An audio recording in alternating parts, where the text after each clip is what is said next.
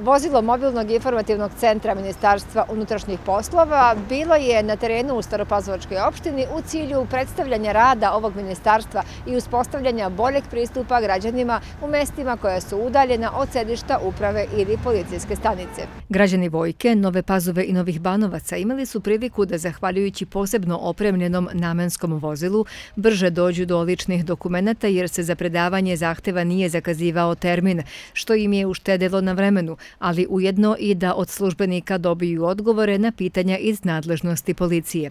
Dolazili su u velikom broju i sa predlozima da policija bude prisutnija na ulicama zarad opšte bezbednosti. Bolje da je još češće da dolaze, to je bilo još bolje. Bilo više efekta i bili građani više upućeni sve to. Šta vas interesuje konkretno? Mene za lične karte interesovalo, produženje lične karte.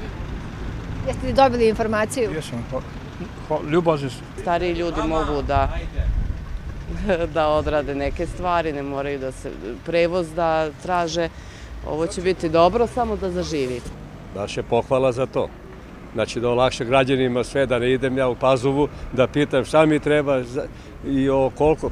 Tu je odmah blizu peške prođen, ne palim kola, ne idem što kaže ono. Akcija je ujedno imala i edukativni karakter jer su zainteresovani mogli da isprobaju takozvane pijene naočare, simulatore pijanstva i narkotika, te da vide kakvo je stanje svesti i ponašanje osobe nakon upotrebe alkohola i droga.